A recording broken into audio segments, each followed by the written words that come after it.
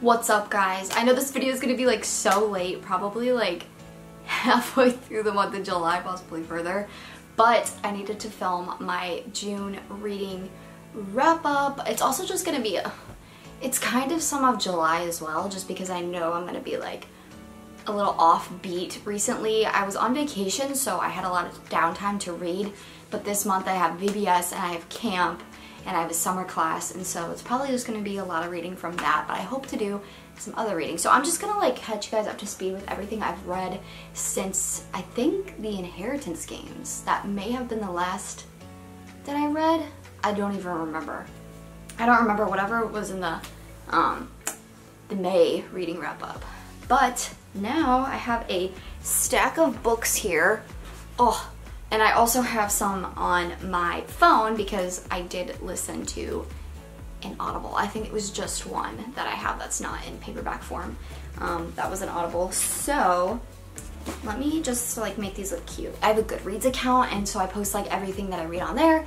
I put my reviews. I usually don't type out reviews unless I absolutely like love or like, I don't think I've ever wrote like a hate comment on a book, but this month was pretty good. There definitely were some books in there that were memorable that I really just liked, but there's also two that I just like, I just want to rant about, but I'm not going to. I'm just going to give you guys a wrap up just because I don't want to get too far into it. And I only have 20 minutes on this SD card, so it has to be under 20 minutes. But if you guys ever want to hear me rant, just like let me know and I can do like a video of like ranting about books I hate or like hyping up the books I love kind of video. Whatever you guys, whatever you guys feel. I know you guys aren't like a book loving group, it seems like, but if you are, then yay.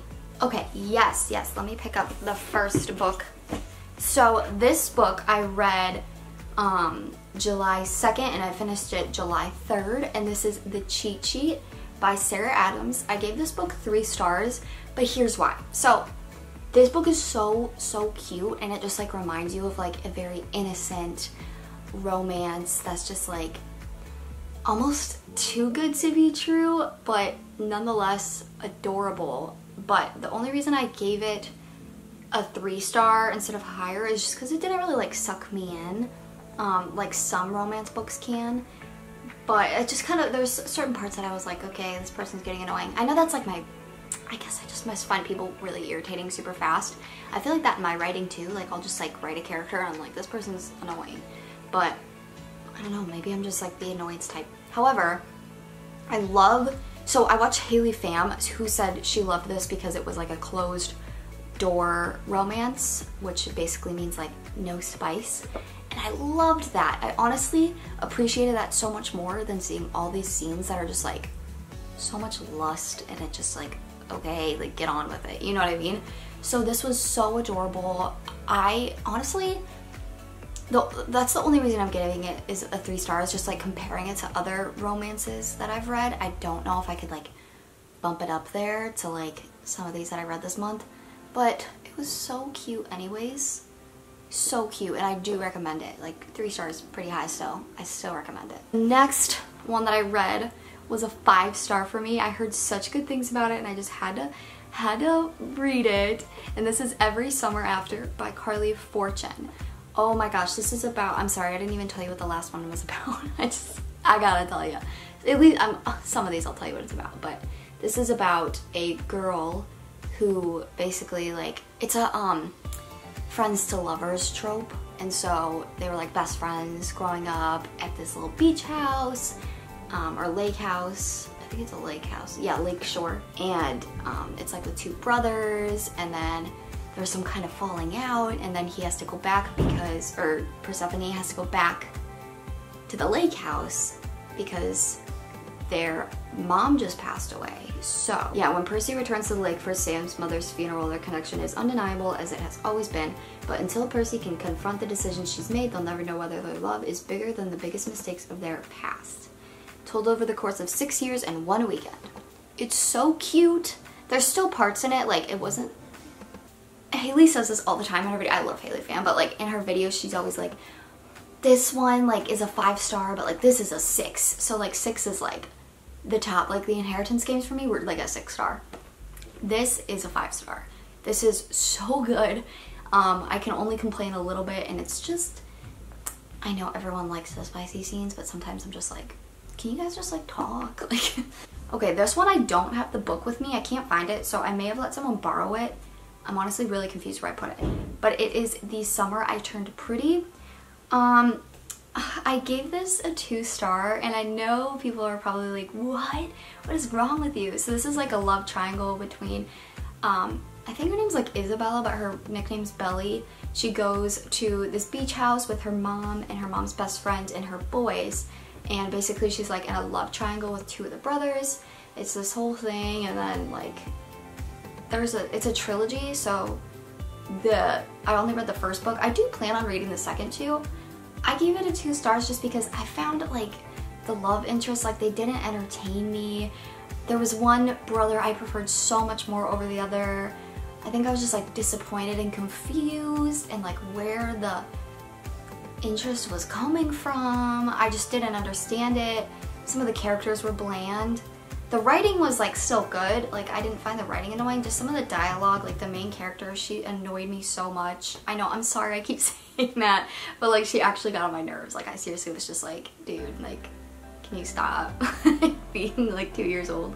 Um, however, I did watch the show and I can like never say this, I swear, but the show is so much better than the book. I just feel like that. I feel like I had to get that out there. Normally I will say that the book is way better than the show, way better than the movie, but I really like the show a lot.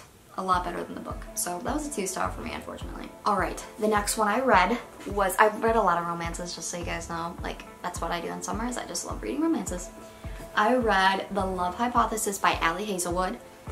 This was such a cute book. I actually wanted to DNF it like 40 pages in just because I already found myself bored and I love romances written in first point of view and this is in third I believe and so I just wasn't really clicking with it at first. And so I was like eh, I'm not feeling it as much. But basically this is about a girl um, named Olive who's in like it's like a STEM romance so like the sciencey nerdy kind of type of love. But like she runs into someone in the bathroom with expired contacts and gets like motivated to keep going through school. And then she accidentally, well not accidentally, she purposely kisses this guy out of nowhere to prove something to someone. I can't even remember. Um, but then she doesn't even know what she just did or who that was. And she finds out it was like a professor who's only like, I think it was like less than 10 years older than her, so they were pretty close in age. Um, I think it was less than eight. So um, then she basically uh, goes through this whole science conference thing and she's trying to get her um, project out there, but it's like a romance between the two characters, Adam Carlsen and Olive Smith. I'm not the best at like describing these books because it's so hard for me to describe them without like getting into details, but it was really cute and I did rate this. I put 5 on Goodreads, but it's more like a 4.5 stars it's really, really cheesy, but I love the cheesy romances, and so that's why I really liked this. Um, there is books that have better writing out there, but just I love cheesy romances, and like I can't complain. Like I'm not like, oh, this isn't mature or like things like that. And honestly, it was. I mean, there's a lot of science in there, a lot of talk I did not understand. Okay, I gotta pick up the speed because my camera is running out of time. This next one I was honestly really excited for and I've had it on my uh, reading list for probably like a year. Like I really wanted to read this book. I don't know why, but I was always really interested in it. And this is The Final Girls Support Group by Grady Hendrix.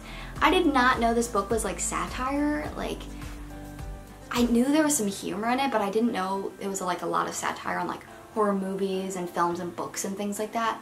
And honestly, I was just kind of disappointed and not TMI, but there is one specific scene in this book that just like it's like I can't get it out of my mind and not in a good way. It's like oh, like I can't even like move past it. Like it actually makes me feel terrible inside. Um, but basically, if you know what Final Girls are, they're like the last girls standing during like some kind of murder spree. Um, or like the one that kills their killer.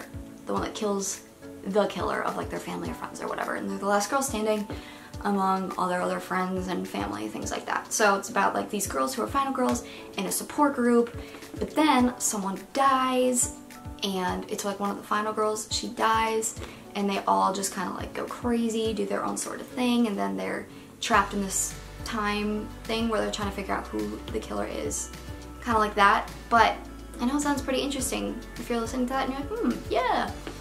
It was like a three star. I would have gave it two, but it was pretty good writing, I will say, and I do think some of it was kind of brilliant, but I just, it's just, I don't think it was like the book for me, if that makes sense. All right, the next one I read was Malibu Rising by Taylor Jenkins Reid. Everyone is recommending Taylor Jenkins Reid as an author. I really want to read Daisy Jones and the Six.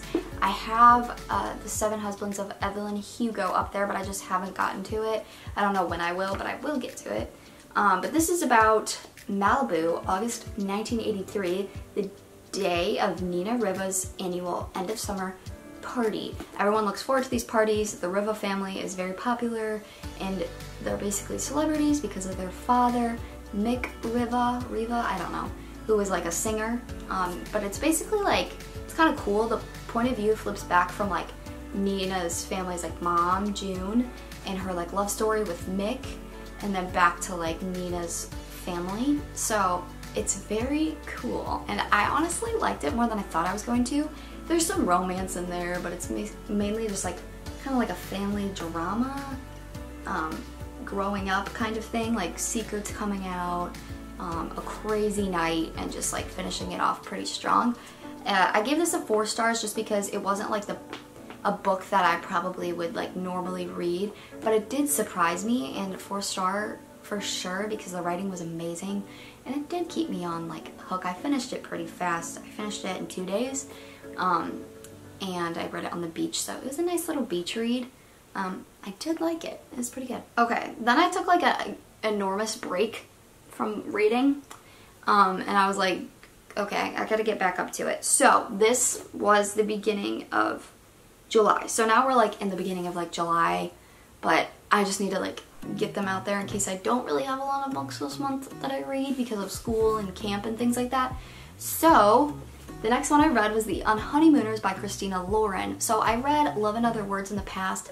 Nobody come at me, but I really did not like that book. I read it really, really fast and I was honestly really tired when I read it. So I don't know if like that had to do with part of it but I just was not vibing and everyone say says how much they love that book so I don't know what's wrong with me I may need to like go back and try to like read it again. I don't know. I didn't I didn't like it. There was it was a little too much, but I'll kind of like talk about what I mean by a little too much in the next book I'm gonna write because oh boy.